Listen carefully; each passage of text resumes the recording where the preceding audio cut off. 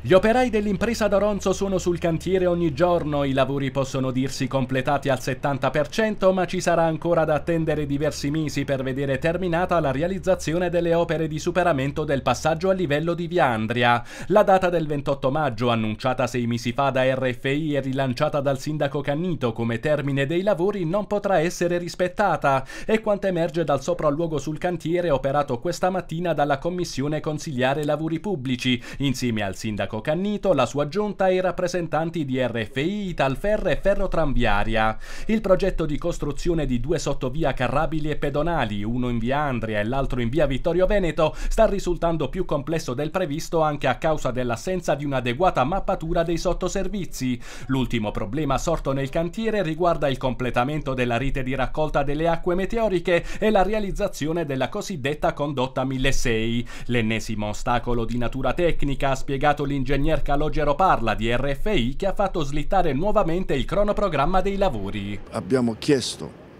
all'ingegnere Parla, responsabile di RFI, di darci una data eh, lui si è riservato di darci eh, a giorni un altro cronoprogramma, atteso che abbiamo capito che il precedente cronoprogramma non potrà essere rispettato per una serie di altre problematiche di natura tecnica che sono collegate soprattutto alla raccolta delle acque meteoriche al famoso eh, canale 1600. È un problema che loro non avevano previsto e che noi abbiamo voluto fosse previsto, altrimenti dovevamo tornare a rompere il cantiere per, eh, per, mettere su questa rete, questa condotta del 1600 e quindi avremmo eh, fatto sopportare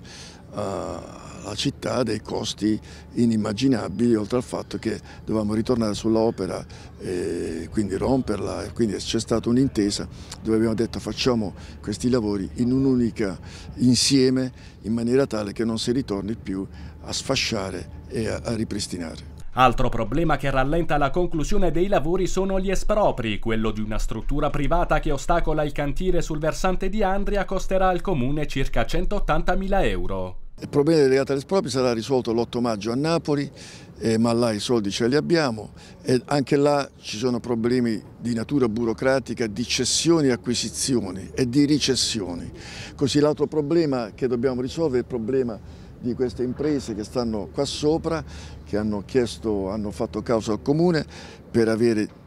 riconoscimento ai loro diritti e noi stiamo lavorando su questo. Inaugurati nel febbraio 2019, i lavori dovevano concludersi da cronoprogramma iniziale il 25 giugno 2021, poi anche a causa del Covid il termine è slittato a febbraio 2022 ed infine al 28 maggio 2023. Nessuno sul cantiere ha voluto sbilanciarsi su una nuova data di ultimazione delle opere. L'auspicio dei tecnici è che entro l'estate possa essere concluso e reso percorribile il sottovia di Via Andria, mentre per quello di Via Vittorio Veneto bisognerà attendere la fine dell'anno. Sono dettagli che in tutti i cantieri ovviamente strada facendo possono venire fuori, l'importante è che vengano bypassati con la volontà, con la capacità, la tenacia e la professionalità dei tecnici che stanno seguendo le opere perché come vedete voi tutti e come oggi i cittadini possono notare attraverso la stampa e quindi grazie a voi le opere stanno andando avanti e siamo veramente nella fase di completamento delle stesse.